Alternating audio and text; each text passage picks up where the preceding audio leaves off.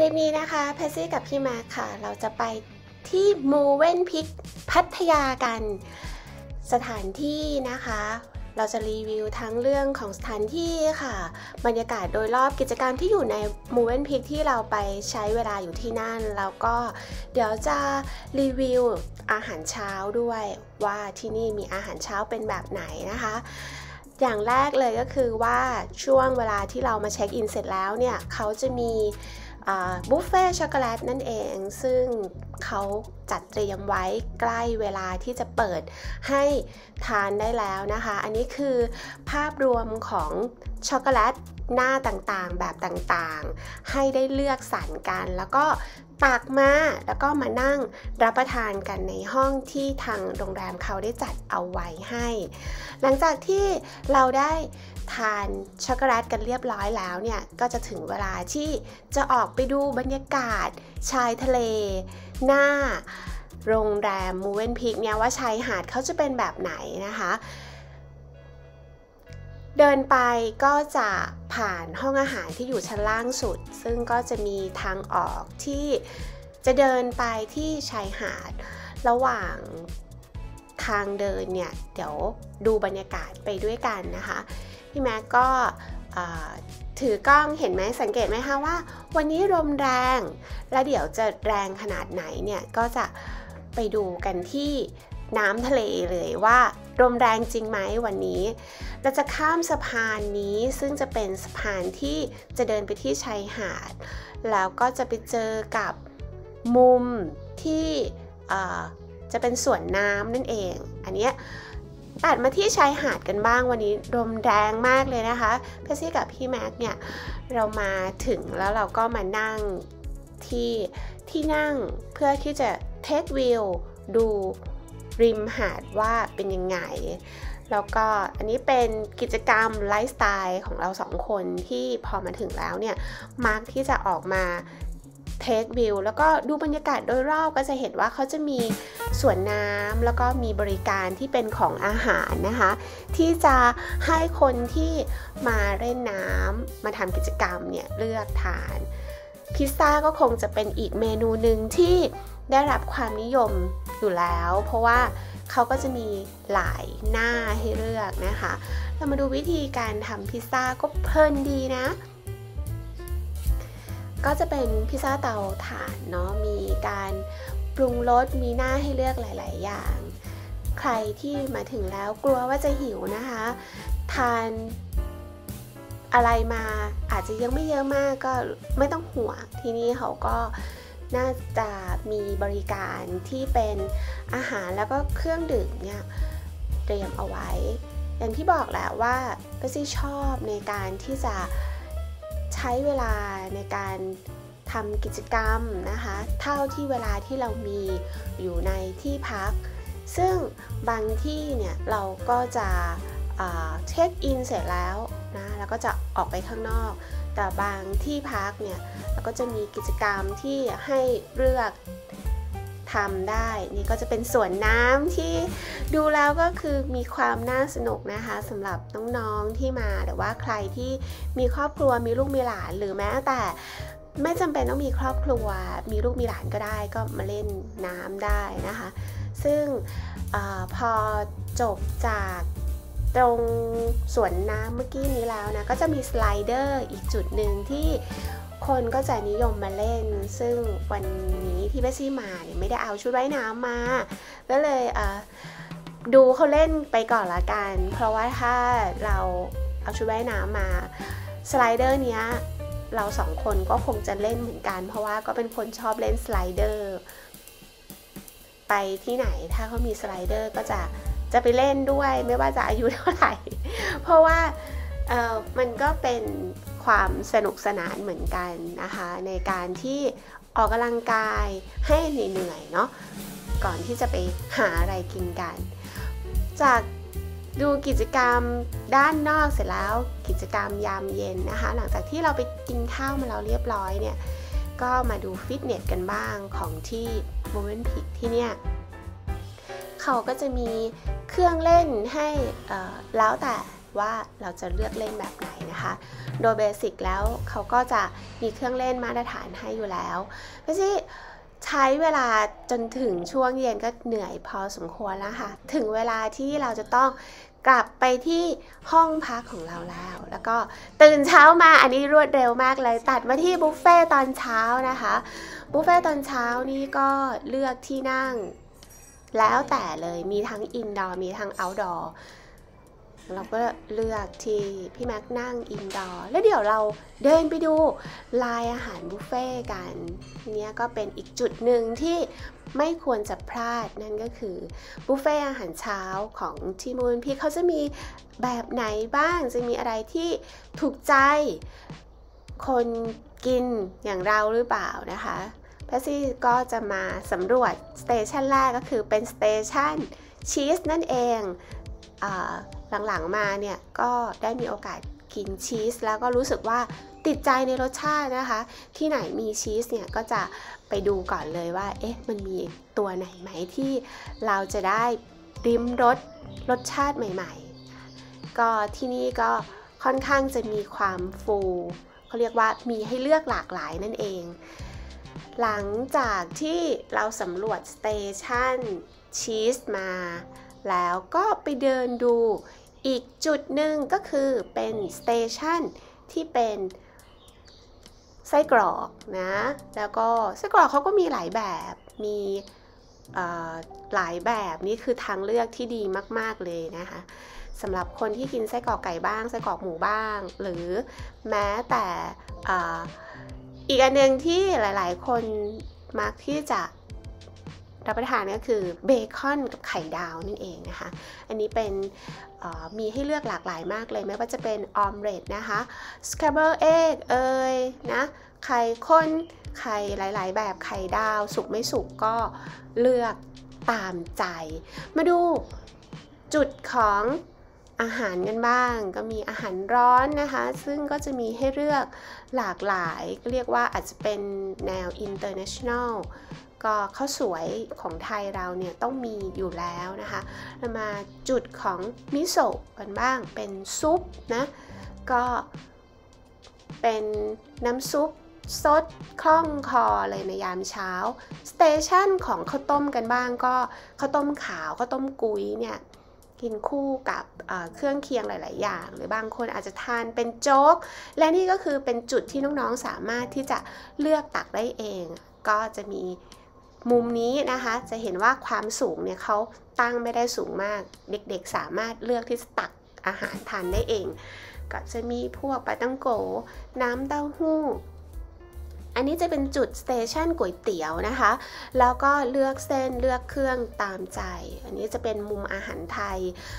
ก็มีหลากหลายนะคะบอกตรงๆว่าเพซี่ทานไม่หมดนะ ไม่สามารถที่จะรับประทานได้หมดทุกเมนู เพราะว่ามัน เยอะจริงๆ ในแนวของติ่มซำกันบ้าง ขนมจีบซาลาเปา ก็มีให้เลือกเช่นเดียวกัน ดูสิคะว่ากระเพาะเราเนี่ยค่ะจะรับประทานได้หมดหรือเปล่า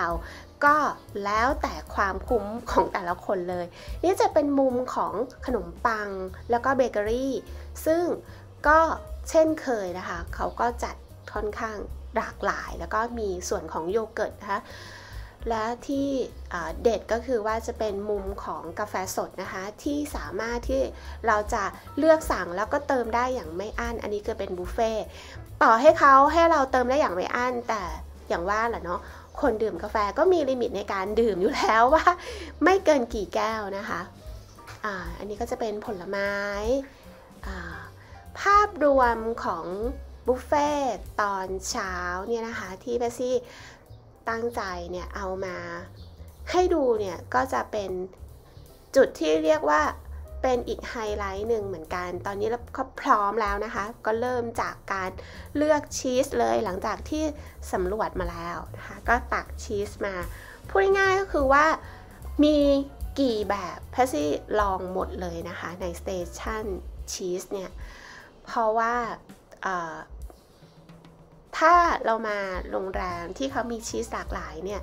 มันเหมือนจะเปิดประสบการณ์ลิ้นของเราด้วยนะ ให้ได้ริมรองว่าเออแต่ละชีสของเขาเนี่ย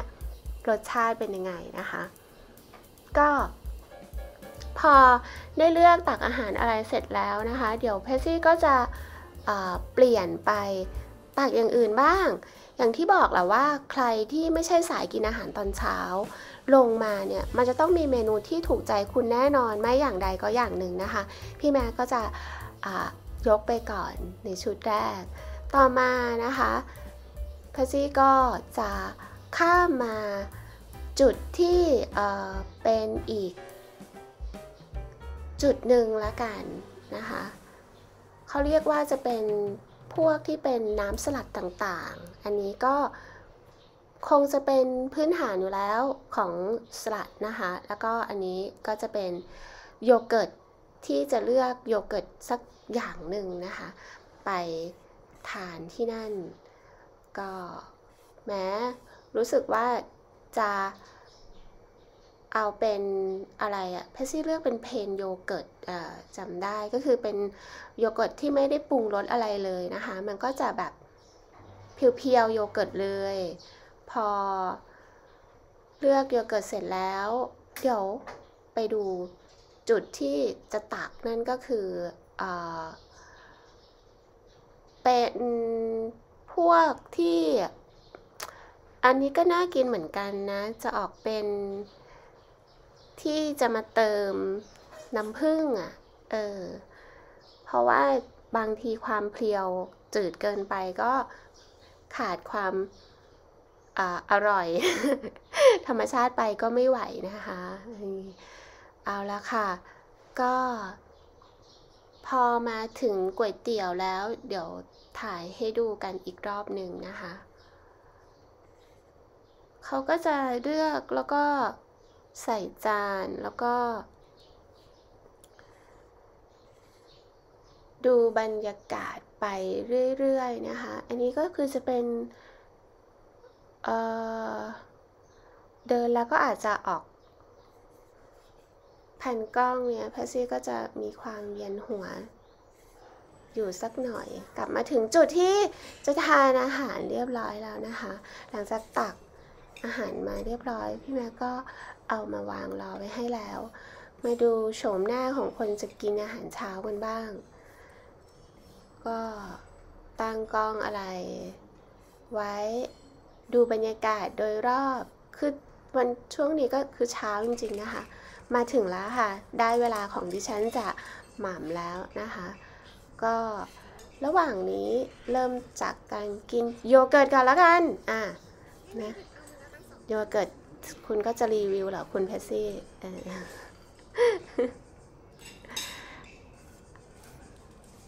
คือจะเปิดท้องด้วยโยเกิร์ตก่อนนะคะ แต่แล้วแต่ บางทีก็อยากกินอะไรแล้วก็กินอันนั้นก่อนไม่ได้มีอะไรตายตัวมากนะคะ ก็จะมีน้ำเปล่าเอ่อและอะไรอีกเพซี่จะกินอะไรต่ออีกเพซี่พูดอะไรฮะ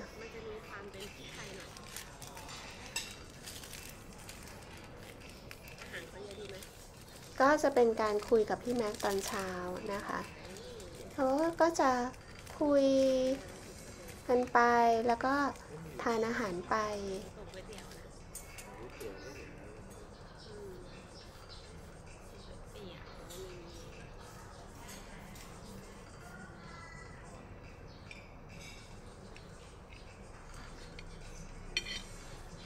เดี๋ยวพี่ซี่ก็จะสรุปให้ฟัง แล้วก็เดี๋ยวพาไปดูบรรยากาศ ห้องพักหลังจากที่ กินอาหารเสร็จแล้วนะคะ จะเป็นคนที่แทนที่จะถ่ายห้องพักก่อนเนาะก็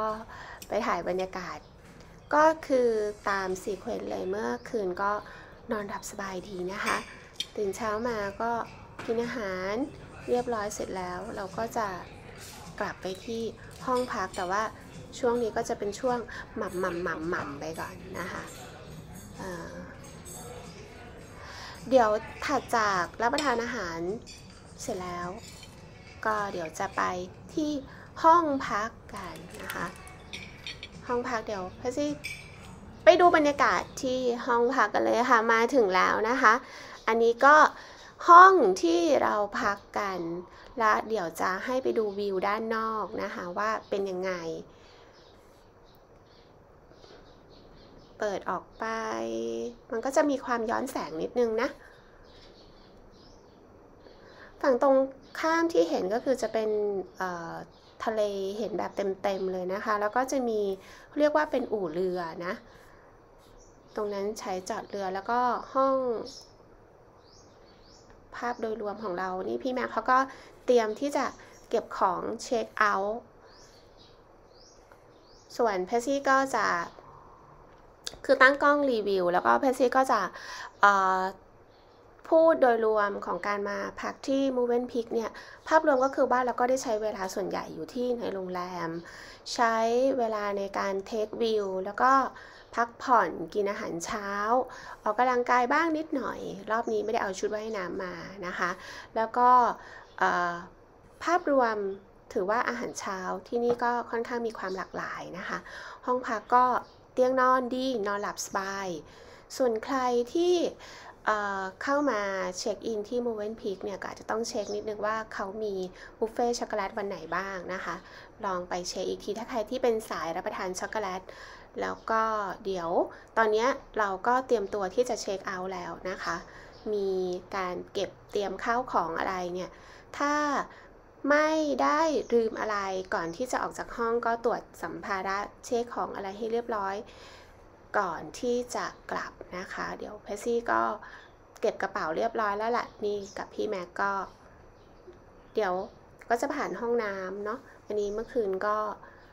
มีแบบนอนแช่อ่างอะไรอย่างเงี้ยสำหรับใครที่ชอบแช่แบบพวกน้ำอุ่นนะคะ มาพบกันใหม่ในคลิปหน้าค่ะ อย่าลืมกดติดตามกด subscribe แล้วมาเจอกันใหม่นะคะ